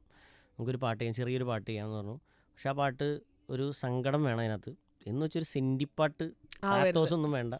ഒരു ചെറിയൊരു ഒരു നൊമ്പരം ഉണ്ടായാൽ മതി എന്ന് പറഞ്ഞു. അപ്പം ഞാൻ കുറച്ച് ട്യൂണുകളൊക്കെ ഇട്ടു. ഒരു നാല് ട്യൂൺ ഇട്ടു. അവനെ കേൾപ്പിച്ചു. അപ്പം അവൻ അതൊന്നും ഒരു തൃപ്തിയാവണില്ല. അപ്പോൾ ഞാൻ പറഞ്ഞു ഒരു കാര്യം ചെയ്യാം. നമുക്ക് ആദ്യം വരികൾ എഴുതാം. അപ്പോൾ എന്നിട്ട് ഞാൻ അത് ട്യൂൺ ചെയ്യാമെന്ന് പറഞ്ഞിട്ട് സന്തോഷ് വർമ്മയാണ് പാട്ട് എഴുതിയത്. അപ്പോൾ സന്തോഷ് ഏട്ടനും ഞാനും കൂടി ഇതുപോലെ ഈ ലിറിസിസ്റ്റുകൾ എന്താ വെച്ചാൽ ഇവരെ ലോക്ക് ചെയ്താലേ കിട്ടുള്ളൂ. അപ്പം ഞാൻ അവരെ പൂട്ടി കെട്ടി ഞാൻ. സന്തോഷ് ഏട്ടനെയും കൊണ്ട് ഒരു റൂം എടുത്ത് ഞങ്ങൾ ഒരു ദിവസം താമസിച്ച് അപ്പോൾ അല്ലെങ്കിൽ അവർ എവിടെയെങ്കിലും പോകും അപ്പോൾ അവരെ അപ്പോൾ സുഹൈലിനെ. സുഹൈലിനെ ആയാലും ഞാനിതുപോലെ സുഹൈൽ വാന്ന് പറഞ്ഞ് വിളിച്ചു വരുത്തി എവിടെയെങ്കിലും കൊണ്ടുപോയിട്ട് ഒരു റൂം എടുത്ത് അവിടെ താമസിക്കണം. എന്നാലും സുഹൈലിന് അപ്പം അപ്പം ഞങ്ങൾ എങ്ങനെയാണ് എപ്പോഴും അങ്ങനെ ഇരിക്കും അപ്പം സന്തോഷേട്ടനും ഞാനും പിന്നെ അവിടെ പോയി നമ്മൾ നമുക്ക് പിന്നെ ഇത് മാത്രം പറയാനുള്ളൂ. അപ്പോൾ നമ്മൾ കഥയൊക്കെ പറഞ്ഞിരുന്ന അങ്ങനെ ആം, ആ, സന്തോഷ് ചേട്ടൻ കുറച്ച് വരികൾ എഴുതി. അതിനകത്തപ്പോൾ ഒരു നാല് വരി ഇതിന് അനുപല്ലവിയായിട്ട് എഴുതിയതായിരുന്നു ആക്ച്വലി നനവേറെ തന്നിട്ട്. അപ്പോൾ എനിക്ക് ഇത് ഭയങ്കര ഇഷ്ടപ്പെട്ടപ്പോൾ ഞാൻ ചോദിച്ചു ഞാനിത് പല്ലവി ആക്കിക്കോട്ടെ എന്ന് ചോദിച്ചു. അപ്പോൾ സന്തോഷേട്ടൻ ഓക്കെ പറഞ്ഞു. അപ്പോൾ ശരിക്കും പല്ലവി എന്തായിരുന്നു? പല്ലവി ആയിരുന്ന ഒരു- കുഞ്ഞു ഒരു കുഞ്ഞു പൂവിൻ. അങ്ങനെയാണെന്നുണ്ട് ആ പാട്ട് തുടങ്ങിയത്. ജനലോരം അതാണോന്നും എനിക്ക് സംശയമുണ്ട്. പക്ഷെ അത് ഭയങ്കര രസമുള്ള പാട്ടായിരുന്നു. എന്ന് വെച്ചാൽ അത്രയും ഫുൾ ടൈം കോമഡി ആയിട്ട് ഇത്രയും സീരിയസ് സബ്ജക്റ്റിനെ ഫുൾ ടൈം കോമഡി ആയിട്ട് കാണുന്ന ഒരു സിനിമയിൽ നമ്മൾ ഒട്ടും പ്രതീക്ഷിക്കാത്ത കൈൻഡ് ഓഫ് ഒരു പാട്ടാണ് പക്ഷെ ഡയറക്ടർ പറഞ്ഞ പോലെ തന്നെ അത്ര സെൻഡി ആക്കാണ്ട് അലമ്പാക്കാണ്ട് ഭയങ്കര രസമായിട്ട് ചെയ്തു. Nice good work mister Justin അടുത്തത്. സപ്പോസ് സപ്പോസ് ഇങ്ങനെ സംഭവിച്ചിരുന്നെങ്കിൽ അങ്ങനെ കുറച്ച് ഇൻസിഡൻസ് ഞാൻ പറയുകയാണ് പണ്ട് പണിയില്ലാതെ ഇരുന്നില്ലായിരുന്നുവെങ്കിൽ എന്ത് സംഭവിച്ചേനെ? അങ്ങനെയാണെങ്കിൽ ഞാൻ ഒന്നുകിൽ ചിലപ്പോൾ നല്ലൊരു ടീച്ചറോ ഉങ്ങൾക്ക് ഇത് തേവയാ? അത് തേവയാണ്. തേവയായതിനെ ഞാൻ ആദ്യം എന്റെ അപ്പച്ചന്റെ അടുത്ത് പണ്ട് ഞാൻ ലിറ്ററേ എം എ ഇംഗ്ലീഷ് ലിറ്ററേച്ചറിനൊക്കെ പോയി. അപ്പം ഞാൻ വീട്ടിലെ നിർബന്ധം കൊണ്ട് പോയതാണ് അപ്പം ഞാൻ എന്റെ അപ്പച്ചനോട് പറഞ്ഞു അപ്പച്ചൻ എന്നെ ഇതിന് വിട്ടോ പക്ഷേ പട്ടിണി കിടന്നാലേ ഞാൻ പഠിപ്പിക്കില്ല എന്നൊക്കെ പറഞ്ഞു. പക്ഷെ ഒരു പട്ടിക്കാട്ടിൽ പോയിട്ട് ഒരു സമയത്ത് ഒരു ഗുദാമിൽ പോയിട്ട് കുറച്ചാൾ പഠിപ്പിക്കേണ്ടൊക്കെ വന്നിട്ടുണ്ട് എനിക്ക്. അപ്പൊ ടീച്ചറായിട്ടൊക്കെ വർക്ക് ചെയ്യുന്നുണ്ട്. പള്ളിയിലച്ഛൻ teacher programmer music director. What a variety life. പിന്നെ പിന്നെ അങ്ങനെ പറയാം. ഞാൻ കുറെ പരിപാടികൾ ചെയ്യാറുണ്ട്. അപ്പൊ എന്റെ വീടിന്റെ അടുത്തുള്ള ചേട്ടന്മാരൊക്കെ പറയും നീ എല്ലാ ഒരു പരിപാടിക്കും പോയിട്ട് ഇതിലിപ്പോ സെറ്റ് അല്ലേ? സെറ്റ് ആയില്ല. മ്യൂസിക് ഡയറക്ടർ ബിജി ബാലിനെ പരിചയപ്പെട്ടില്ലായിരുന്നെങ്കിൽ അത് എനിക്ക് അങ്ങനെ ഒരു സപ്പോസ് വേണ്ട അത്രയ്ക്കും എന്റെ ലൈഫിൽ ത്രീ ജി ആയിപ്പോനെ അതാണ് ഉദ്ദേശിച്ചത്. അങ്ങനെയല്ല. എനിക്ക് ബിജി അത് ചിലപ്പോൾ വേറെ എന്തെങ്കിലുമൊക്കെ പോയേനെ. പക്ഷേ ബിച്ചേട്ടൻ എന്റെ ലൈഫിൽ അത്രയും വലിയൊരു ഏറ്റവും കൂടുതൽ ഇൻസ്പയർ ഇൻസ്പയർ ചെയ്തിട്ടുള്ള ഒരു മ്യൂസിക് ഡയറക്ടറിനെ അതിനപ്പുറത്ത് തന്നെ അത് ബിച്ചേട്ടൻ സമ്മതിക്കൊന്നുമില്ല. കാരണം ഞാൻ എന്നിട്ടും നന്നായിട്ടില്ലല്ലോ അതുകൊണ്ട്. പക്ഷേ എന്നാലും എന്നെ ഏറ്റവും അധികം ഇൻസ്പയർ ചെയ്തിട്ടുള്ള ഒരാളാണ് ബിജിച്ചേട്ടൻ അപ്പം ഗുരുവിന്റെ ഗുരുവിന്റെ അടുത്ത് അങ്ങനെ നിന്ന് വർക്ക് ചെയ്യുമ്പോൾ ഇപ്പൊ ബീച്ചന്റെ വർക്കിംഗ് പാറ്റേൺ പുള്ളി മ്യൂസിക് ഉണ്ടാക്കണൊക്കെ കാണുന്നുണ്ടല്ലോ. അത് അഡോപ്റ്റ് ചെയ്തിട്ടുണ്ടോ ഇല്ല അതെനിക്ക് പറ്റൂല. എന്താ ബിച്ചേട്ടൻ കടൽ പോലെ മ്യൂസിക്കാണ് ഇങ്ങനെ. എനിക്ക് അത്ര കടലില്ല. അപ്പോൾ അത് കാരണം കൊണ്ട് ഞാനിങ്ങനെ റിസർച്ചും ചെയ്ത് തപ്പി പിടിച്ചിട്ടാണ് ഒരു മ്യൂസിക് മറ്റേ കടലിന്റെ മുന്നിൽ അന്തമിട്ട് കുന്തം പോലെ നിൽക്കുന്ന കുട്ടിയാണ് ഞാൻ. അതെ, അതാണല്ലേ. അപ്പൊ പാറ്റേൺ എനിക്ക് ഫോളോ ചെയ്യാൻ പറ്റില്ല. ബീച്ചേട്ടൻ അതുപോലെ രണ്ടു മൂന്ന് പടങ്ങളൊക്കെ കൂളായിട്ട് ഡീൽ ചെയ്യാറുണ്ട്. ഒരു ടെൻഷനോ നമുക്ക് പ്രോഗ്രാമേഴ്സിന് പ്രഷറോ ഒന്നും കൊടുക്കാറില്ല. ഞാൻ എന്റെ അവിടെ അങ്ങനെയല്ല. എന്റെ വർക്ക് ചെയ്യുന്ന എല്ലാവർക്കും എനിക്ക് പ്രഷർ വന്ന് അവർക്ക് പ്രഷർ കൊടുക്കും. അപ്പോൾ അപ്പോൾ അതുകൊണ്ട് ബീച്ചേട്ടൻ അങ്ങനെയാണ്. ഞാനൊക്കെ ബീച്ചിന്റെ അടുത്ത് കൂളായിട്ടാണ് ബീച്ചേന്റെ അടുത്ത് വർക്ക് ചെയ്യാൻ പോയി കഴിഞ്ഞാൽ പിന്നെ വേറെ ആരുടെ അടുത്തും വർക്ക് ചെയ്യാൻ തോന്നില്ല. വേറെ മ്യൂസിക് ഡയറക്ടേഴ്സിന്റെ അടുത്തൊന്നും വർക്ക് ചെയ്യാൻ തോന്നില്ല. അത്രയ്ക്കും സുഖമായിരുന്നു അവിടെ. ഞാൻ ഇൻസ്റ്റഗ്രാമിൽ ഇടാൻ ഒരു ബയോ പറഞ്ഞു തരട്ടെ. ജസ്റ്റിൻ ഏഹ് ജസ്റ്റ് ഇൻ വർഗീസ് അതിൽ ആദ്യം ജസ്റ്റ് ഇൻ വർഗീസ് എന്നുള്ളതില്ലേ? അത് കളയണം. നിങ്ങൾ ജസ്റ്റിൻ അല്ലല്ലോ. നിങ്ങൾ ഇത്രയും കാലമായില്ലേ. അതെന്താ കളയാൻ പറ്റുന്ന വെച്ചാൽ ഇനിയിപ്പോൾ മാറ്റാൻ പറ്റില്ല. ആ വേറെ പേര് കിട്ടാനില്ലേ? പിന്നെ അത് തന്നെ ഓ, എഡിറ്റ് ചെയ്യാൻ പറ്റില്ല. ഓക്കെ ഫൈനലി താഴ്ത്ത്. ദ അശുഭ മംഗളകാരി എന്ന് കൂടി നിങ്ങൾക്ക് കറക്റ്റ് ഇപ്പോഴാണ് എനിക്കത് മനസ്സിലാവുന്നത്. എന്താണ് ഡിഫറൻസ് മ്യൂസിക് പ്രോഗ്രാമറും മ്യൂസിക് ഡയറക്ടറും തമ്മിൽ മ്യൂസിക് ഡയറക്ടറും തമ്മിൽ ഇപ്പൊ ഞാൻ പ്രോഗ്രാമർ ആയിരുന്ന സമയത്ത് വിവരമില്ലായ്മയെ തെറ്റിദ്ധരിക്കരുത് സാർ ഇല്ല ഇല്ല ഇല്ല അത് വ്യത്യാസമുണ്ട്. ഓക്കെ അതിനകത്ത് മ്യൂസിക് പ്രോഗ്രാമർ ആയിരിക്കുന്ന സമയത്ത് മ്യൂസിക് പ്രൊഡ്യൂസർ എന്ന് പറഞ്ഞാൽ ഇപ്പോൾ ഇപ്പോൾ ബിജി ചേട്ടൻ ഒരു പാട്ട് ചെയ്യുന്നു. ബിജി ചേട്ടൻ അല്ലെങ്കിൽ ബിജി ചേട്ടൻ ആ പാട്ട് ചെയ്തിട്ട് ബിജി ചേട്ടൻ പറയും. പാട്ട് നമുക്ക് തരും. പ്രോഗ്രാമിംഗ് പ്രോഗ്രാമിങ് ചെയ്യാനായിട്ട് പ്രോഗ്രാമർ ഏൽപ്പിക്കും. അപ്പോൾ ഞാൻ ഇപ്പൊ ഞാൻ ചെയ്യുന്ന പാട്ടാണ് പ്രോഗ്രാമിംഗ് ബിജി ചേട്ടൻ എനിക്ക് പറഞ്ഞു തരും ഇത് ഇന്ന ഈ സ്റ്റൈലിലാണ് ഇത് പ്രോഗ്രാമിംഗ് ചെയ്യേണ്ടത്. അതുപോലെ ബിജി ചേട്ടന്റെ ബി ജി നമ്മുടെ ഇടയിലുള്ള ബി ജി മെലഡികളൊക്കെ കമ്പോസ് ചെയ്ത് തരും. ആവശ്യമുള്ളതിന് ചിലപ്പോൾ അതിന്റെ ഇന്ന ബിജി നിർബന്ധമുള്ള സ്ഥലത്ത് അത്രയും കോഡ് പ്രോഗ്രഷൻ അങ്ങനത്തെ സംഭവങ്ങൾ ചെയ്തു തരും. അപ്പോൾ അത് തന്നിട്ട് നമ്മൾ ആ പാട്ട് ട്രീറ്റ് ചെയ്യണം. ഓക്കെ. മ്യൂസിക് ഡയറക്ടർ ആകുമ്പോൾ ഞാൻ തന്നെ ആ പാട്ട് പാട്ട് ഉണ്ടാക്കുന്ന ആൾ ആ, ഡയറക്ടർ അസിസ്റ്റന്റ് ഡയറക്ടർ എന്ന് പറയണ പോലെ. അങ്ങനെയല്ല. അതും പറയാൻ പറ്റില്ല. ഞാൻ എനിക്ക് ചില സമയത്ത് ഇങ്ങനെ ക്യാമറാമാനായിട്ട് ചില സമയത്ത് ഒരു ഇത് തോന്നാറുണ്ട്. ഡയറക്ടറും ക്യാമറാമാനും തമ്മിൽ. ഇപ്പോൾ ഡയറക്ടർക്ക് ഒരു വിഷൻ ഉണ്ടാവും. ഇങ്ങനെ അവരുടെ ഫ്രെയിം ഇങ്ങനെ വരണം. ഇങ്ങനെ വേണം. ഇപ്പോൾ ക്യാമറാമാന് പുള്ളിയുടേതായ അങ്ങനെ. അങ്ങനെ കംപ്ലീറ്റ്ലി അങ്ങനെ പറയാൻ പറ്റില്ല. എന്നാലും ചെറുതായിട്ടൊക്കെ ചില സമയത്ത് അത് ഞങ്ങളെ പോലെ ലോക്കൽസിന് മനസ്സിലാവാൻ അങ്ങനെ അതല്ലേ നീ ഉദ്ദേശിച്ചത്? ഹിറ്റ് മ്യൂസിക് ഡയറക്ടറുടെ കുറച്ച് ശീലങ്ങൾ എനിക്കറിയണം. ഓക്കെ മൂന്ന് ഗുഡ് ഹാബിറ്റ്സ് നല്ല ശീലങ്ങൾ നല്ല സുഹൃത്തുക്കളെ ഉണ്ടാക്കാൻ പറ്റാറുണ്ട്. ഫ്രണ്ട്ലി. അല്ലേ. ഓക്കെ. മുൻവിധികളില്ലാതെ ജഡ്ജ്മെന്റൽ അല്ല അത്ര ജഡ്ജ്മെന്റൽ അല്ലാണ്ടിരിക്കാൻ ശ്രമിക്കാറുണ്ട്. പൊതുവെ ഞാൻ അത്. അല്ല പക്ഷേ ഞാൻ അതല്ലാണ്ട് മാക്സിമം നോക്കാറുണ്ട്. ചില ഒരാൾ അടുത്ത് അവൻ അത്ര അടുപ്പിക്കണ്ട എന്ന് പറഞ്ഞാൽ ആളുകളെ കുറിച്ച് പാട്ടുകളെ കുറിച്ച് ഞാനത് വിശ്വസിക്കില്ല സർ. പാട്ടുകളെ ഇതെന്തായാലും ഇട്ടോ മോളെ? ഇതിലെനിക്ക് വലിയ പ്രതീക്ഷയില്ല എന്നാണ് നിങ്ങൾക്ക് ജഡ്ജ്മെന്റ് നിങ്ങളുടെ അല്ല എനിക്കറിയില്ല അങ്ങനെയാണ്. എനിക്കത് കോൺഫിഡൻസ് ഇല്ലായ്മ. കോൺഫിഡൻസ് ഇല്ലായ്മന്നല്ല. എനിക്ക് കാരണം ഹിറ്റ് എപ്പോഴും അങ്ങനെ നമ്മളിപ്പോൾ സിനിമയായാലും നമ്മൾ ഭയങ്കരമായിട്ട് പോസ്റ്റ് പ്രൊഡക്ഷനിലൊക്കെ ചർച്ച ചെയ്തിട്ട് ബാക്ക്ഗ്രൗണ്ട് സ്കോർ ഒക്കെ ചെയ്യുമ്പോൾ ഇത് പൊളിക്കും എന്ന് പറയുന്ന പടം. ചിലപ്പോൾ പുറത്ത് ഹിറ്റായെന്ന് വരില്ല? നമ്മൾ ഇത് ഓരോ. പോരാ പോരാന്നൊക്കെ വിചാരിച്ചാണ് സിനിമകൾ വൺ ഹിറ്റ് ആയിട്ടുണ്ട്. അപ്പോൾ അതുകൊണ്ട് അത് അത് നമുക്ക് അറിയില്ലാത്തൊരു സംഭവമാണ്. ഞാനിപ്പോൾ ബീച്ചാന്റെ കൂടെ ഇത്രയും പടങ്ങൾ വർക്ക് ചെയ്യുമ്പോഴും ഞങ്ങൾക്ക് ഭയങ്കര ഇഷ്ടപ്പെട്ട പടങ്ങൾ ചിലപ്പോൾ തിയേറ്ററിൽ വർക്ക് ആയിട്ടില്ല. വർക്കായിട്ടില്ല. അപ്പോൾ അതുകൊണ്ട് അതങ്ങനെ സംഭവിക്കാറുണ്ട്. പാട്ടുകളും. എനിക്ക് ഭയങ്കര ഇഷ്ടപ്പെട്ട ബീച്ചാന്റെ പാട്ട് ഞാൻ എപ്പോഴും കേട്ടുകൊണ്ടിരിക്കുന്നൊക്കെ ബീച്ചാനോട് വാനോളം പുകഴ്ത്തിട്ട് ആ പാട്ടുകൾ ചിലപ്പോൾ ശ്രദ്ധിക്കപ്പെടാറില്ല. അങ്ങനെ ഒരു പാട്ട് പറഞ്ഞേ. അതുപോലെ എനിക്ക് ഇഷ്ടമല്ല എന്ന് പറഞ്ഞിട്ട് ഹിറ്റായിട്ടുണ്ട്. അതേതാന്ന് പറഞ്ഞാൽ എന്നെ തല്ലും. പറ പറ പറ. മാണിക്ക് ചിറകുള്ള. ആ പാട്ട് ബീച്ചേട്ടൻ ആദ്യം എന്നെ വെറുതെ ട്യൂൺ ഇട്ടിട്ട് കേൾപ്പിച്ചു. അപ്പം ഞാൻ അന്ന് ഞാനിപ്പോൾ എന്റെ പാട്ടിനും വിമർശിക്കണം എന്റെ കൂടെ വർക്ക് ചെയ്യണ പയ്യന്റെ കാര്യം പറഞ്ഞ പോലെ ഞാൻ. ബീച്ചേനോട് പറഞ്ഞു ചേട്ടാ ചേട്ടൻ സാധാരണ ആശിക്കേണ്ട പടത്തിൽ എല്ലാം ഹിറ്റാണല്ലോ. ഈ പാട്ട് എന്തോ പെട്ടെന്നൊന്നും മനസ്സിലാവാത്ത പോലെ ചേട്ടൻ ഇങ്ങനെയൊക്കെ പറഞ്ഞു. ചേട്ടൻ "ആ, കുഴപ്പമില്ല. അത് ഇപ്പം എന്തായാലും ഓരോ ഓക്കെ എന്നൊക്കെ പറഞ്ഞു. അത് കഴിഞ്ഞിട്ട് ഞാൻ പോയിട്ട് സോറി എനിക്കൊരബദ്ധം പറ്റിപ്പോയി. അപ്പൊ ഇത് ഹിറ്റ് ആയി കഴിയുമ്പോ പുള്ളി എന്തേലും പറയോ? അല്ല എനിക്കത് കഴിഞ്ഞ് എനിക്ക് തന്നെ ഇഷ്ടമായി ഭയങ്കരമായിട്ട് ചേട്ടനൊന്നും പറയൊന്നുമില്ല ആ. അങ്ങനെ പറഞ്ഞില്ല അപ്പൊ എന്നോട് പറഞ്ഞു എന്തോ ഒന്ന് പറഞ്ഞല്ലോ എന്നൊക്കെ ചോദിച്ചു. ഇനി മൂന്ന് ബാഡ് ഹാബിറ്റ്സ് ഒന്ന് കുറച്ച് ഷോർട്ട് ടെമ്പേർഡ് ആണ്. ശരിക്കും. ഓക്കെ. അതാണ് ഏറ്റവും ഏറ്റവും അലമ്പ് ഹാബിറ്റ് ഒരു അലമ്പ് പ്രശ്നം. ഓക്കെ നമുക്ക് വേഗം തീർക്കാം പിന്നെ പിന്നെന്താണ്? പിന്നെ കുറച്ച് ടെൻഷൻ പ്രഷറൊക്കെ ഇത്തിരി കൂടുതലായിട്ട് എടുക്കും. മംഗളകാരി. പിന്നെ അതാ ഒരു പ്രശ്നം. പ്രശ്നമാണ് പിന്നെ ചില സമയത്ത് ചില സമയത്ത് നമ്മൾ ചില കാര്യങ്ങൾ മിണ്ടാതെ ഇരിക്കേണ്ട സമയത്ത് ചിലപ്പോൾ പറഞ്ഞു പോകുന്നത് കൊണ്ടുള്ള പ്രശ്നങ്ങൾ ഉണ്ടാവാറുണ്ട്. എടുത്തടിച്ച പോലെ കാര്യങ്ങൾ പറയും ആൾക്കാർ ചിലപ്പോൾ ചിലപ്പോൾ അത് ഞാൻ അത് ഞാൻ പറയാണ്ടിരുന്നാൽ അത് വലിയ കുഴപ്പമൊന്നുമില്ലാണ്ട് പൊക്കോളും. പക്ഷെ ഞാൻ എനിക്കതിങ്ങനെ ഉള്ളിൽ വെച്ചുകൊണ്ടിരിക്കാൻ പറ്റാത്തതുകൊണ്ട് പറയും. പറഞ്ഞു കഴിയുമ്പോൾ ചിലപ്പോൾ പ്രശ്നം ഓക്കെ. ഇനി ഒരു മ്യൂസീഷ്യന്. ഒരു മ്യൂസിക് ഡയറക്ടർ എന്നല്ല ഒരു മ്യൂസീഷ്യന് വേണ്ട ഒരു മൂന്ന് ഹാബിറ്റ്സ് മൂന്നേ മൂന്ന് ഹാബിറ്റ്സ്. വേണമെന്ന് താങ്കൾക്ക് തോന്നിയിട്ടുള്ള മൂന്ന് ഹാബിറ്റ്സ്. ഒന്ന് ഒരു എന്താ പറയണ ഒരു പേഷ്യൻസ് വേണം. പിന്നെ അത് ഡോക്ടർക്കല്ലേ വേണ്ടത്? പേഷ്യൻസ്. അല്ല പേഷ്യൻസ് എന്ന് പറഞ്ഞാൽ നമുക്ക് ഇപ്പൊ നല്ല തമാശയൊന്നും കുട്ടിക്ക് അങ്ങനെ എൻജോയ് ചെയ്യണല്ലോ ഓ എന്റെ അമ്മ ആ പേഷ്യന്റ് എന്റെ അമ്മോ എമ്മാരി ചെളി ഞാൻ പോവാണ് ഇവിടുന്ന്. എന്റെ അപ്പോ.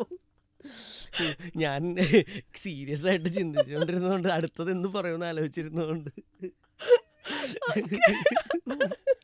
അപ്പൊ? അത് ശരി. ഓക്കെ എന്നാ പിന്നെ ഞാനും തുടങ്ങണോ? Okay. രണ്ടുപേരും കൂടെ ചളി അടിച്ചു ശരി ഓക്കെ. പേഷ്യൻസ് ഞാൻ പറഞ്ഞതേ നമുക്കൊരു ചിലപ്പോൾ നല്ല സംഭവങ്ങൾ വരില്ല പെട്ടെന്ന്. അപ്പോൾ പക്ഷെ ചിലപ്പോൾ അത് കിട്ടിക്കോളും. പക്ഷെ ഞാൻ ഇപ്പം ഞാൻ പറഞ്ഞില്ല എന്റെ പ്രശ്നത്തിൽ ഞാൻ ആ വെപ്രാളപ്പെട്ട് ടെൻഷൻ. അടിച്ചിട്ട് വരണം വരണില്ല എന്നൊക്കെ. പക്ഷെ ചില സമയത്ത് കുറച്ച് നമ്മൾ സമാധാനമായിട്ട് ഇരുന്നാൽ ചിലപ്പോൾ നല്ലത് വന്നോളും തന്നെ വരും. അപ്പോൾ അതാണ് ഒരു സംഭവം. പിന്നെ എനിക്ക് തോന്നിയിട്ടുള്ളൊരു ഒരു പിന്നെ രണ്ടാമത് വേണ്ടത് ഒരു ഡെഡിക്കേഷൻ എന്തായാലും വേണം. പിന്നെ എനിക്ക് ഏറ്റവും വേണമെന്ന് തോന്നിയിട്ടുള്ളതൊരു ഒരു ഓപ്പൺനെസ് ആണ് നമ്മൾ എന്ത് തരം മ്യൂസിക്കും എന്തും നമ്മൾ നമുക്കൊരു പുച്ഛം നമുക്ക് പാടില്ല. ഇതൊക്കെ എന്ത് പാട്ട്? ഇങ്ങനെ ഒരു സാധനം അങ്ങനെ പാടില്ല എന്ന് എനിക്ക് തോന്നിയിട്ടുണ്ട്. ആക്ച്വലി എന്ത് എന്തെങ്കിലുമൊക്കെ ചിലപ്പോൾ എല്ലാ തരം മ്യൂസീഷ്യൻസിൽ നിന്ന് എല്ലാ തരം ആർട്ടിസ്റ്റിലും എന്തെങ്കിലുമൊക്കെ എടുക്കാനുണ്ടാവും കാരണം അത് ഇഷ്ടപ്പെടുന്ന കുറേ ആൾക്കാരുള്ളതുകൊണ്ടല്ലോ അവർ ഹിറ്റ് ഹിറ്റായിട്ടുള്ളത്. അപ്പോൾ അതുകൊണ്ട് അപ്പോൾ അവർക്ക് എന്തോ ഒരു സാധനമുണ്ട്. അപ്പോൾ അതുകൊണ്ട് ആരോടും ഒരു പുച്ഛം അത്ര നല്ലതല്ല. നമ്മളത് ഭയങ്കരമായിട്ട്. കാരണം നമുക്ക് ഇഷ്ടപ്പെട്ടില്ല എന്ന് പറയുന്ന പല പാട്ട് ചിലപ്പോൾ ഹിറ്റായിരിക്കും അപ്പം ഞാൻ എനിക്ക് ഇഷ്ടപ്പെടില്ല ഇതൊക്കെ എന്ത് പാട്ടാണെന്നൊക്കെ പറയും ചിലപ്പോൾ അതൊക്കെ ഞാനും പറയാറുണ്ട്. അപ്പോൾ. ഓരോ പാട്ട് എന്ത് പാട്ടാണെന്നൊക്കെ പറയും. പക്ഷെ പാട്ട് ഭയങ്കര ഹിറ്റായിരിക്കും. അപ്പൊ അത് നമ്മളുടെ ആസ്വാദനത്തിലുള്ള എന്തോ പ്രശ്നമാണ്. അപ്പൊ അപ്പോൾ അതുകൊണ്ട് അത് ഇഷ്ടപ്പെടുന്ന ആൾക്കാരുണ്ട്. അപ്പോൾ അതുകൊണ്ട് ആ ഒരു ഒരു ഓപ്പൺനെസ് ആ പുച്ഛമില്ലാത്തൊരു അത് നല്ലതെന്ന് എനിക്ക് തോന്നിയിട്ടുണ്ട്. ഓക്കെ നൈസ് ഇനി ഒരു മ്യൂസിക് ഡയറക്ടർ ഒരു പാട്ട് ഉണ്ടാക്കുക അതായത് ഒരു ഡയറക്ടർ വന്ന് അല്ലെങ്കിൽ ഒരു ടീം ഒരു മൂവിയുടെ ടീം വന്ന് നിങ്ങളെ അപ്രോച്ച് ചെയ്യുമ്പോൾ അവരിൽ നിന്ന് പ്രതീക്ഷിക്കുന്ന ഒരു മൂന്ന് ഹാബിറ്റ്സ് റെസ്പെക്റ്റ് ചോദിച്ചു വാങ്ങാൻ പാടില്ലെന്ന് പറയും. എന്നാലും അവർ നമുക്കൊരു റെസ്പെക്റ്റ് തരുന്നത് ഭയങ്കര അടിപൊളിയാണ്. ഞാൻ എനിക്ക് ലാൽ ജോ സാറിന്റെ കൂടെ വർക്ക് ചെയ്തപ്പോൾ സാറ് എന്റെ എന്താണ് എന്നെ ചീത്തയൊക്കെ പറയും. പക്ഷെ സാറ് നമുക്ക് തരുന്ന റെസ്പെക്റ്റ് ഉണ്ട്. ഇപ്പം ഞാൻ സാറ് വിദ്യാസാഗറിന്റെ ഒക്കെ കൂടെ വർക്ക് ചെയ്തിട്ടുള്ള ആളാണ്. അത്രയും ലെജൻസിന്റെ കൂടെ ബീച്ചിന്റെ കൂടെ ഒക്കെ വർക്ക് ചെയ്തിട്ടുള്ള ആളാണ്. അപ്പോൾ എന്നെ സാറിന് അങ്ങനെയൊന്നും കാണണ്ട. പക്ഷെ സാർ എന്റെ അടുത്തും അങ്ങനെയാണ്. ഞാൻ സാറിന്റെ പുതിയ ലൊക്കേഷനിലൊക്കെ പോയിട്ടുണ്ടായിരുന്നു. സാർ എന്നെ വെറുതെ വിളിച്ചു. നീ ഇങ്ങോട്ട് വാ അവിടെ കഴിഞ്ഞ പടം ദുബായിലായിരുന്നു. നീ വരണം വരാൻ പറ്റിയില്ലല്ലോ. എന്നാ വാ പടം ഷൂട്ട് എടുക്കാണ്. ഇവിടെ പുതിയ പിള്ളേരൊക്കെ നീ വാ. എന്നൊക്കെ പറഞ്ഞ് വിളിച്ചു. ആ എനിക്ക് ഭയങ്കര സന്തോഷമായിരുന്നു അതുപോലെ സാറിന്റെ അടുത്ത് സാർ ഈ ട്യൂൺ ഇങ്ങനെ ഇടട്ടെ. അനുപല്ലവി ഇങ്ങനെ തുടങ്ങട്ടെ. എന്നാണ് വെറുതെ പാടി കേൾപ്പിക്കുമ്പോൾ അതൊന്നും എനിക്കറിയണ്ട. നീ ചെയ്തിട്ട് കേൾപ്പിക്കും. ഓക്കെ. അപ്പോൾ ചെയ്തിട്ട് കേൾപ്പിക്കും. ഞാനതുപോലെ ഒരു ഒരു പാട്ട് ചെയ്തു. എനിക്കെപ്പോഴും ഈ കൺഫ്യൂഷൻ ഉള്ളതുകൊണ്ട് ഞാനൊരു പാട്ട് ചെയ്തിട്ട് ഞാൻ പറഞ്ഞു സാറേ ഞാനിത് ഇപ്പം അയക്കാം. നാളെ ഒരു പാട്ടും കൂടി അയച്ചു തരാം.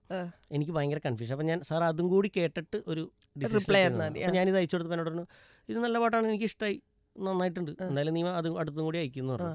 ആ. ദിവസം അടുത്ത് അയച്ചു. അപ്പൊ എന്നോട് പറഞ്ഞു ഇത് അടിപൊളിയായിട്ടുണ്ട്. ഞാൻ പിന്നെ ഇന്നലെ നീ കേട്ട പാട്ട് അത്ര നല്ല പാട്ടാണ്. പക്ഷെ ഇതാണ് നമുക്ക് വേണ്ടത്. പക്ഷെ ഇന്നലെ കേട്ട പാട്ട് നല്ലതാണ്. നിന്നോട് എങ്ങനെ അത് വേണ്ടാന്ന് പറയും. ആ നല്ല. പാട്ട് എങ്ങനെ വേണ്ടാന്ന് പറയും എന്ന് ഓർത്തിട്ട് ഞാൻ മിണ്ടാതിരിക്കായിരുന്നു. അപ്പം അങ്ങനെ അങ്ങനെ എങ്ങനെ വേണ്ടെന്ന് പറയുന്ന എന്നോട് ചോദിക്കണം മടി. അതൊരു വലിയ നമ്മൾ ചെയ്യുന്ന ജോലിയോട് കാണിക്കുന്ന റെസ്പെക്ട്. അതെ അപ്പൊ അത് എനിക്ക് ഭയങ്കര ഇഷ്ടമാണ് അപ്പൊ സാറിന് അങ്ങനെ അത് എനിക്ക് ഭയങ്കര ഒരു.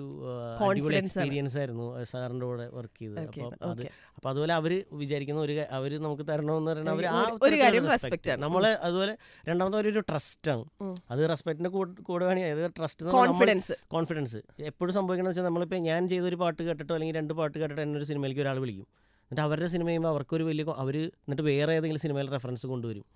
ഇവരെന്നെ രണ്ട് സിനിമ ചെയ്തിട്ടായിരിക്കുമല്ലോ വിളിച്ചത്. പക്ഷേ ആ ആ അപ്പോൾ ഒരു ട്രസ്റ്റ് ഉണ്ട് ഇവൻ ഈ സിനിമകൾ നന്നായി ചെയ്തെങ്കിൽ ഇത് നന്നായി ചെയ്യും എന്നുള്ളൊരു ട്രസ്റ്റ് നമുക്ക് തന്നാൽ നമുക്ക് ഭയങ്കര ഇത് നമുക്ക് ഭയങ്കര കോൺഫിഡന്റ് ആയിട്ട് വർക്ക് ചെയ്യാൻ പറ്റും.